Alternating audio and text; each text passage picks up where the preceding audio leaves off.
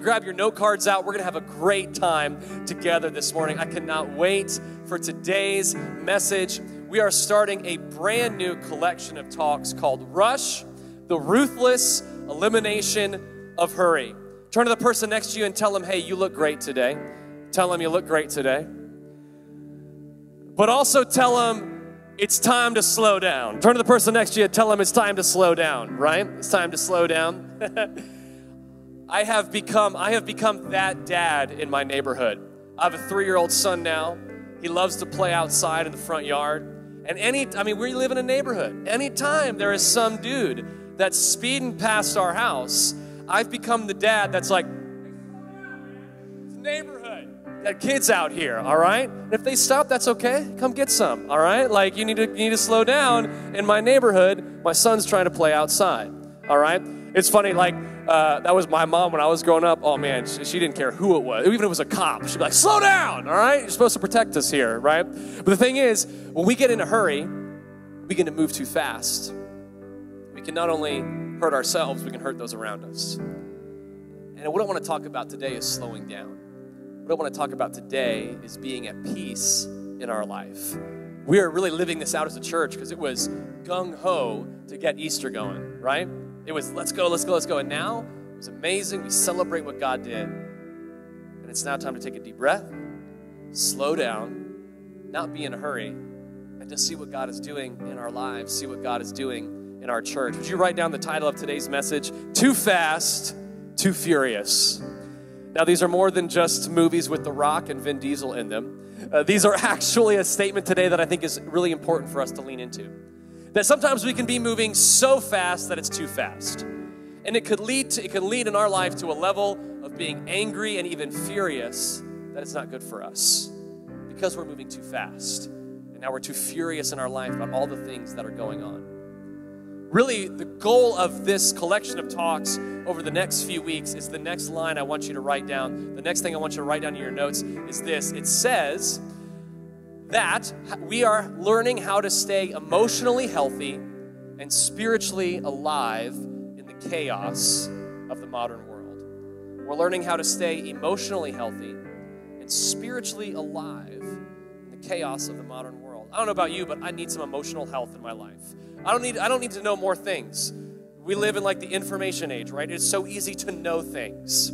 Isn't it interesting though that we have more information at our hands and in our pockets than ever before, but we're the most emotionally unhealthy and spiritually dead that we've ever been. Why? Because it's not about knowing things. It's about experiencing things in our life and having an emotional health that gets us through problems and situations and difficulties of life. It's about being spiritually alive. To knowing that maybe we may look vibrant on the outside, but on the inside, woo, we're struggling.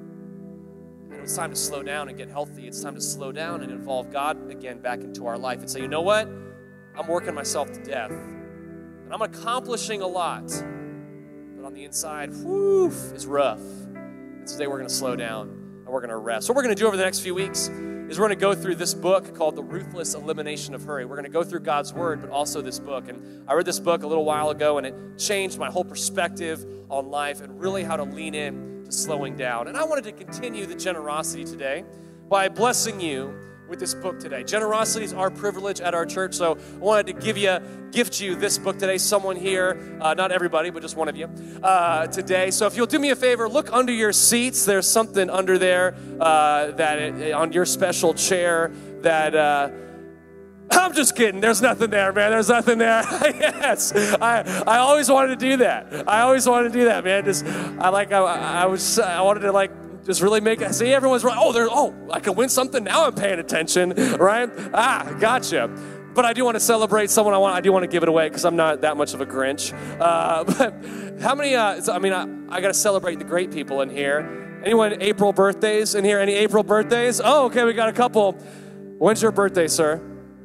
April 20th. Oh man. All right. So you're, we already passed someone's birthday. So you're the one next coming up. So come on, I'll get this book for you, sir. It's here right here. Yes, yes. There you go. Read it, man. You got like three kids. That's going to be a good book for you slow, slow down. And uh, but happy birthday, man! Because April's are the best birthdays because our birthstone is the diamond. Come on, everybody. It means we're the best. Let's read this verse together. Matthew chapter 11, verse 28 through 30. It says this Come to me, all who are weary and burdened, and I will give you rest. Would you underline the opening phrase, Come to me? And then underline, and I will give you rest. See, some of us in here, we might be weary, we might be burdened. Weary by the stage of life we're in, burdened by what we have to do right now. Can I encourage you in this moment and over the next few minutes as we talk today? you can come to Jesus, and the promise is He will give you rest. He doesn't say, Come to me and I'll give you stuff to do. He doesn't say, Come to me and I'll tell you all the wrong things you're doing. Come to me and I'll give you a religion. I'll give you a framework. I'll give you a self help. Just says, Come to me. Come to me and I will give you rest. If that's something that Jesus is offering, I need it today and I want it today. What we're going to really talk about is the tagline of that book, and I want you to write this down. It's the idea, because Jesus knew this, is that hurry is the greatest enemy to your spiritual life. See, if our spiritual life is out of rhythm, if our spiritual life is messed up, nothing else is going to feel healthy. Everything else is going to feel a little bit chaotic because it's our spirit that guides everything. That's where, that's where everything started. Everything started with God breathing life into our spirit when we were just dust of the earth so many years ago when He created everything that we see. And hurry is the greatest enemy because hurry causes you to miss things. Hurry causes you to get moving too fast. Hurry breeds anger, stress, all the above, right? Like today, I'm wearing glasses that Adrian got me for my birthday because I had a pair just like these that I lost. Here's how I lost them. Shepherd goes to a camp three days a week, and I'll be honest, most of the time we're running late to that camp, usually my fault. Um, but sometimes, you heard my wife say yep as soon as I said that. Um, but sometimes it's not only my fault. Sometimes as little shepherds too, as much as we love him, as cute as he is, he's three now. And something happens when you like turn two and a half that you just, kids hate putting on their shoes. Like, I don't know what it is. We just can't get shoes on this guy. Like, we had to give up on socks a long time ago because that would just add an hour to try and get out of the house. So I'm chasing him down barefoot. He's just stomping all over the ground. I'm like, Shepherd, we got to get your shoes on so we can go, buddy. And he knows he's, he just runs away. He's doing this really interesting thing right now where he has like this evil maniacal laugh that he does when he knows he's doing something wrong. Like I'll go, Shepherd, it's time to put your shoes on, buddy, and he'll run away like this, and then he'll go, and I'm like, Lord, please touch him, whatever that is. Like, don't want any of that in my house. Um, but I'm, but what happened that day was finally got his shoes on. We get out, and he always likes to knock my glasses off. And so I took them off, put them on the hood of the car, put him in the car seat, buckled it up, gave him his cars that he likes to play with, and we headed out. Pulled out of the driveway, down the street, got on the exit to the interstate, driving. And as soon as I pick up some speed on the interstate, whatever was on my hood flew up, went off the windshield, back in the back of traffic, and I looked and said, "Well, Shepherd." Daddy has no more glasses, right? So I had to get some new ones simply because I was in a hurry. Hurry brings destruction, hurry brings distraction, and we need to lean into slowing down today. Here's the idea we say this all the time there's an enemy in our life, an actual enemy that wants to destroy us. And a very amazing spiritual leader from a long time ago and lived an amazing life named Corrie ten Boom, she says this If the devil can't make you sin, he'll make you busy. If the devil can't make you sin, he'll make you busy. There may be, you know what, maybe some of us are dealing with some sin in our life that we need to realize we're forgiven and set free. Maybe some of us in our life, we understand we're forgiven and set free. We're just way too busy to enjoy it. We're way too busy to experience it. We're way too busy to invite someone else into it and help someone else.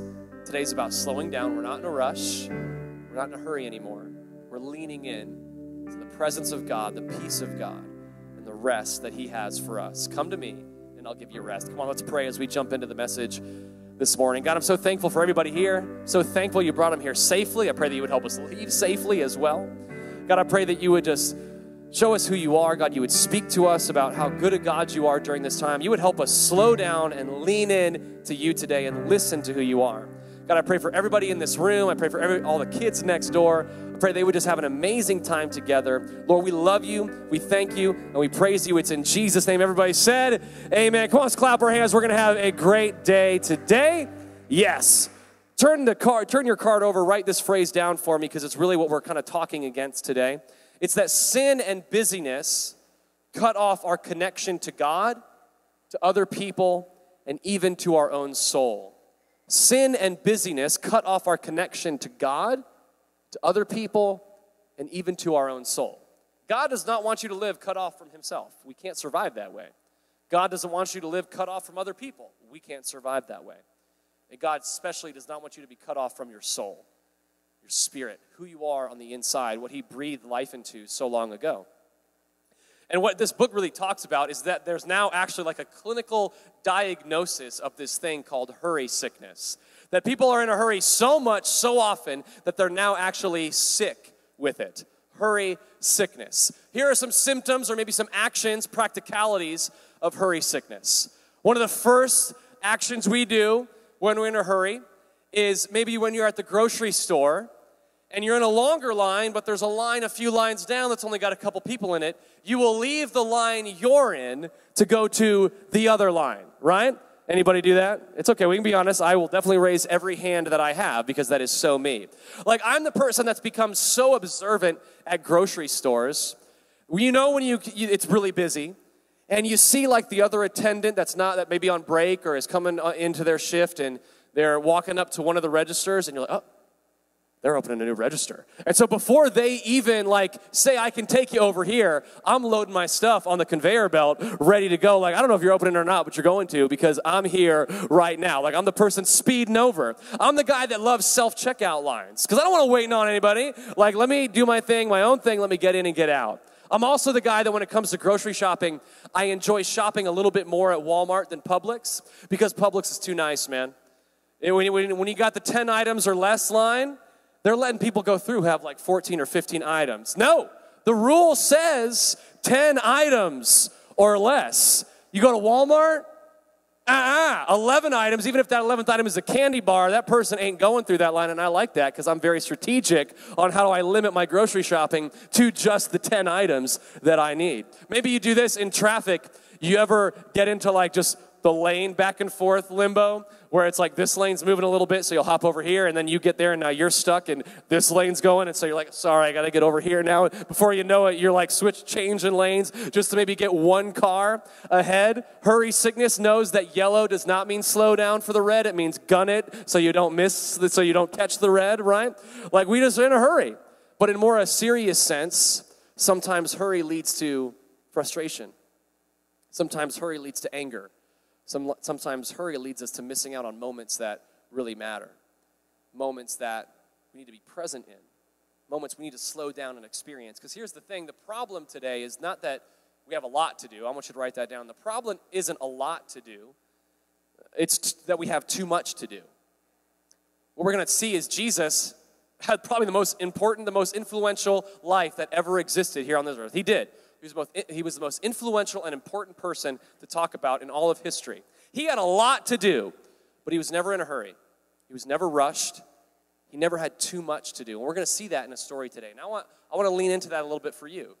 Now, listen, we live lives, man. I, am I'm, I'm a husband, I'm a father, I'm a pastor. There's a lot to do, okay? Just, this doesn't just like happen, you know? Like, like you get to walk into and experience it, but there's a lot that goes into it. And it, there's a lot to do to make happen to keep our church alive and, and growing and moving forward. But I need to healthily walk the balance of having a lot to do and having too much to do. Because when I have too much to do, I get stressed out. When I have too much, I get rushed. When I have too much to do, who suffers is not only me, but my wife and my son and our church. And so I need to learn how to slow down and realize I may have a lot to do, but I can take a deep breath. Let's see how Jesus interacts with this today. In Matthew chapter 9, verse 18, one of my favorite stories and passages of the, of the Bible with an experience that Jesus has with a couple people. Check this out. While he was saying this, a synagogue leader came and knelt before him and said, My daughter has just died, but come and put your hand on her and she will live. What amazing faith by this guy that we've got to slow down and like look at. The synagogue leader, other books of the Bible tell us his name is Jairus. He walks up to Jesus and says, Hey, my daughter is dead. But I know that if you lay your hands on her, she will come back to life. How amazing faith is that? That he says, if you will just, I know it, she's gone, but if you can come see her, she'll come back. Really powerful. But here's what happens next in the story. It's so important. Jesus got up and went with him, and so did his disciples. Just then, a woman who had been subject to bleeding for 12 years came up behind him and touched the edge of his cloak. She said to herself, If only I touch his cloak, I will be healed. Jesus turned and saw her. Take heart, daughter, he said, Your faith has healed you. And the woman was healed at that moment. Now, I want to stay here for a second because I want to unpack what's going on. Because we can read through these four verses and be like, wow, that's really cool. But you got to put yourself in the story. Now, remember, how did this journey start? By Jairus, the synagogue leader, coming up to Jesus and saying, My daughter's dead, and I need you to come see her. We've lost everything, but only you can make a difference now, Jesus. Only you can bring her back to life. You got to come now. Jesus does not, doesn't say he, he sprints off or runs off, it says he simply goes. He went with him. But an interruption happens. A woman who has been had an issue with blood for years, a woman who has lost everything, other again, books of the Bible tell us that she was a wealthy woman who had been to doctor after doctor after doctor, and after every visit, she left worse than she was before. She left taken advantage of. She was just things she was going to were actually making her worse. And she came to this point where she was broken and alone, and she had heard about Jesus, and the only thing she could think of was just getting to him. What this passage doesn't tell you is that Jesus is surrounded by hundreds of people. And so she was weak, she was broken, she had been issued with this sickness for so many years, probably just taking a step took everything that she had. She did not only have to take a step, she had to fight through a crowd simply to touch Jesus. What great faith, right? And we're like, not you guys, but some people. It's raining. I'm not going, not going to church today, right? Like she didn't say anything. She said, "It doesn't matter if I can get to Jesus, everything can change. If I can have a moment where I can have an experience with Jesus, everything can change." Now, what happens? Now, you got to put yourself in this story. Jesus was considered a rabbinical figure at the time. He was very important spiritually. He was seen as an authority figure, and so he was seen as someone who, someone who was unclean, who was someone who suffered with sickness. You did not touch him. And especially if you were a woman, you did not touch him. So this woman climbs her way to Jesus and grabs his cloak.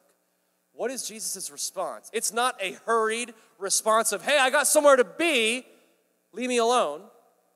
It's not, how dare you. Verse 22, what does it say? It says, Jesus turned and saw her. Would you underline that for me? Because I, need to, I think a lot of us need to understand that today.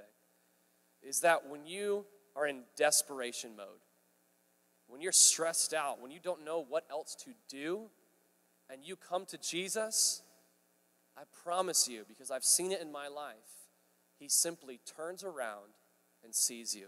He notices you. He sees your pain.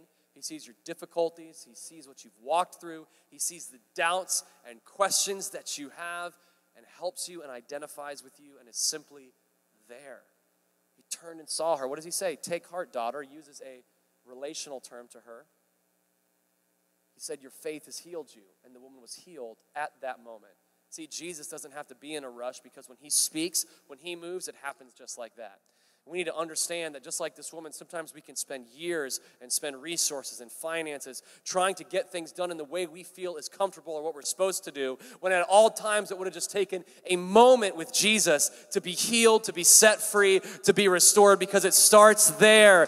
That's where it starts. That's where God moves. A simple touch from Jesus. Now, listen, I'm not condemning earthly things like medicine and counsel, I need that myself.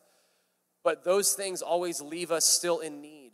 The only thing that brings complete and total healing or brings complete and total strength to get through those things is that moment with Jesus. It's great for this woman. Don't forget who's standing observing this interaction Jairus, who says, Hey, um, uh, Jesus, we, we got to go. Do you know, remember what I just told you? My daughter's dead. We have got to go. My need is really important. How are you turning and looking at this woman? The disciples say later in another, in another passage of scripture, he says, Jesus, what are you talking about? Who touched you? Do you not see all these people, man? Everybody did. Why is that a big deal? Because of one person, one story is important to Jesus. He's never in a rush. He's never in a hurry. I need you to understand there's a lot of us in here. Jesus is not rushing to solve my problems before he's rushing to solve your problems. He is the end all, be all, Alpha and Omega. He is exactly what we all need in this moment for each and every single one of us. And he slows down to be in this moment for me and for you. Write this down for me. What we see in this story is that Jesus is patient and present to the moment. He doesn't look at Jairus and say, hey, yeah, you're right, we got to go. I'm sorry, lady. He didn't even, what does it say? It says that she was healed the moment she touched Jesus. But Jesus took the time to be patient and find her. Here's why. See, Jesus, He will answer the prayers in our life of healing for sickness and disease, financial provision. He will answer those prayers. But He knows the deeper need that you have is to know that you can be forgiven and set free and have a relationship with Him. Because that's what breathes life into your spirit, that's what saves your soul. He needed this woman to know that, hey, you're a daughter in the family of God you're not only healed, you're forgiven as well, and you belong here in my presence. And he did that with a simple take heart daughter. He did that simply by being patient and locking eyes with her. But then he's also present to the moment. Let's, let's finish off that verse from Matthew chapter 9. When Jesus entered Jairus' house and saw the noisy crowd and people playing pipes, talk about just annoyance right there. Noisy crowd and playing pipes. Who wants that in their house? Not me. He said, Go away. I love that you just go away. The girl is not dead, but asleep. But they laughed at him.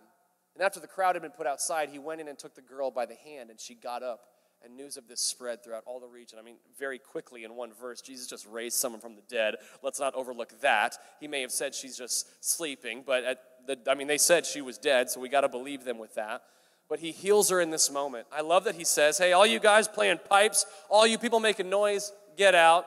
I don't get any time for you. Listen, a lot of us need some less noise in our life. And sometimes noise is good. I mean, we like music, we like being around people, but sometimes we got to get rid of the noise so we can have some unhurried one on one time with Jesus, where He can be present in the moment and we can be present at that moment. I would hate so many times in my life where I've been too much in a rush to miss a moment where Jesus wanted to use me, where Jesus wanted to speak to me, where He wanted to help me bring encouragement to someone, where He wanted me to let someone know that they're valued, that they're cared for.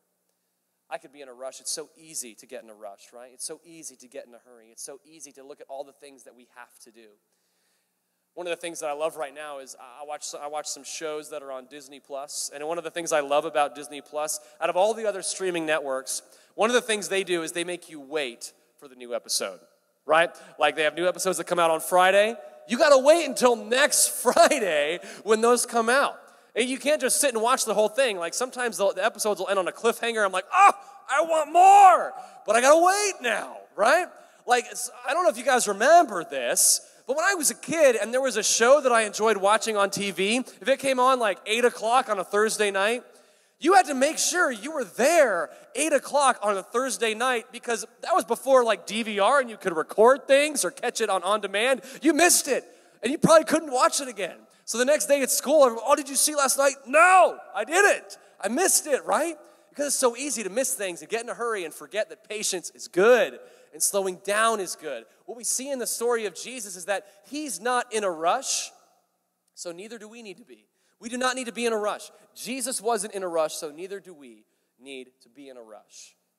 Slows down. It doesn't say when he heard the bad news about Jairus' daughter that he took off at a sprint. It says he went with him at a walking pace because Jesus knows that if he's there, it's okay. Whether he's there after the good news, after the bad news, or before the bad news, it's okay. Because he is that good, he is that powerful, he is that strong. And sometimes it's so key just to slow down, to be patient and present in the moment, and to know that Jesus is not in a rush. All the problems you are trying to solve right now, Jesus is not in a rush to solve. Because here's the thing problems are like the greatest promise in life. They're going to happen. like, we are going to have problems. And Jesus knows that amidst every problem, you're always going to need a person that you need, you're going to need to turn to, that you're going to need to call on. There's going to need to be a person who can step into that situation and be there for you. And Jesus knows He's the only person that can be that for you. Jesus is the only person in my life who has never let me down.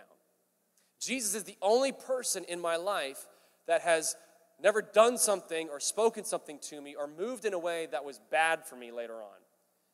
Because he said, I don't come to kill and destroy, I've come to give you life and life to the full. The only way you have a full life is to slow down, to not be in a hurry. The only way that we can fully experience this life is to realize that on the seventh day, God rested. Yeah, He worked for six, but on the seventh day, He enjoyed the creation. Some of us need to lean back a little bit more and enjoy what's going on. It's hard when you have a kid because sometimes you know there's things you need to do. Like, I know I need to go to the gym. I need to, I'm 33 now. I mean, I know my metabolism is going away. So I need to go to the gym. I need to stay healthy. I need to work out.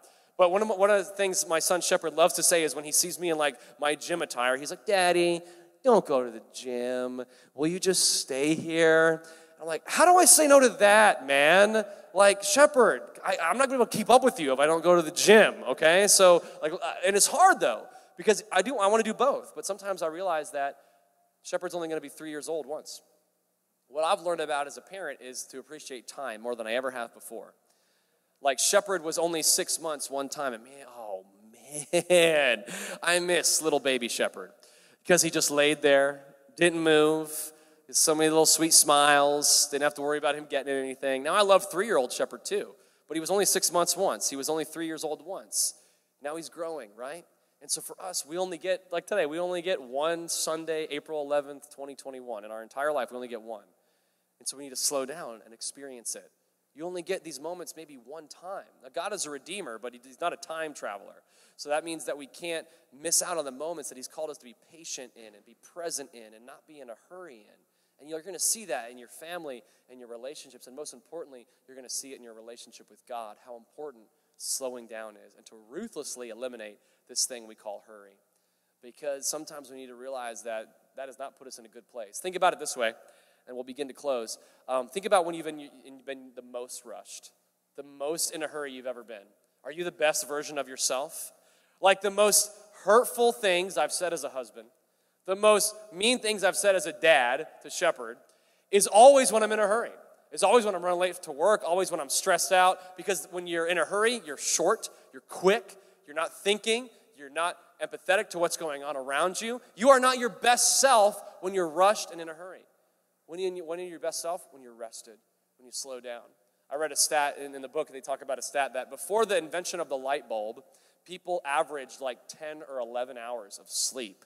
I don't even remember the last time I got that much sleep because, like, right now we're like five to six is good, right? But it was because that the light bulb, we could do things at night. We could see. But isn't it funny how it actually impacted us maybe in a negative way when it came to our emotional health and our spiritual health? Because back in the day, people just went to bed when the sun went down. And they woke up when the sun went up. Like, oh, that made sense. Can't do anything. It's dark. And I think sometimes we need to look at the hurry level of our life in the same way. Maybe not sun, S U N, but sun, S O N. Man, it, it, I just want to, you know, if Jesus is resting, I want to rest. I want to slow down. If he's moving, I'm going to move with him. If he's healing, I want to be there. But if he's resting and spending time just hanging out, because that's what he does, that's what I want to do. And we need to get back in that healthy rhythm of life.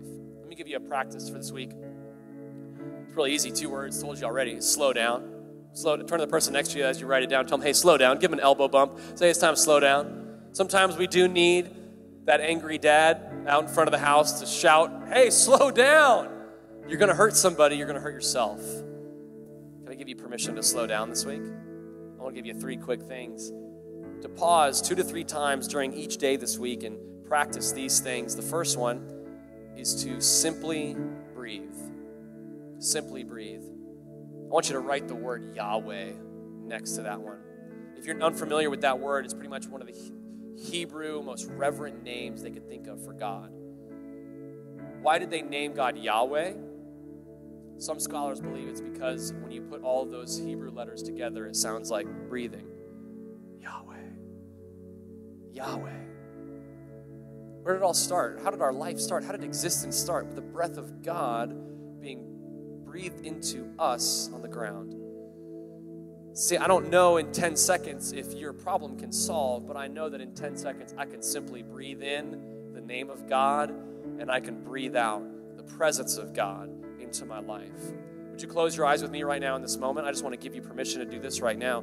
Close your eyes, just as Paige plays, just listen to that. I just want to take 10 seconds and I want to breathe in the name of God and breathe out the presence of God. I don't want to think about any problems. I don't want to think about any stressful situations. Don't think about where you're going to lunch after service today. Just be in this moment. Be patient and be present. Would you do this? Do me a favor. Just let's breathe in. Let's breathe out. Let's breathe in. And let's breathe out Would you open your eyes and look back at me today?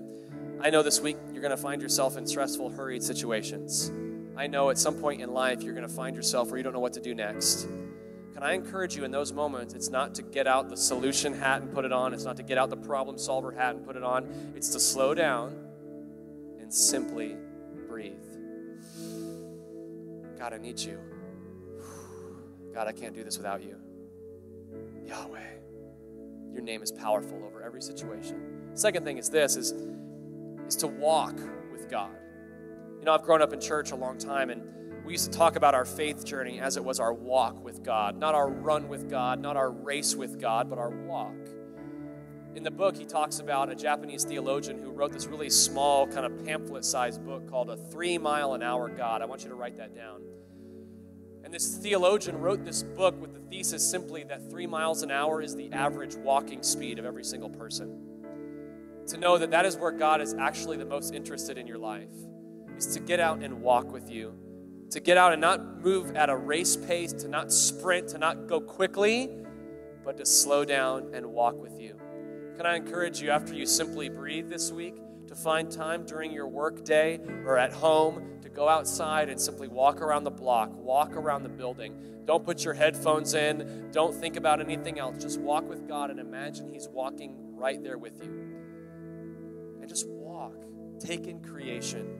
Listen to the sounds of creation and, and just listen to the voice of God speaking to you because if you make space for God to speak to you, He it's okay if it's at three miles an hour. I mean, if someone was driving three miles an hour in front of me, I would pass them yesterday.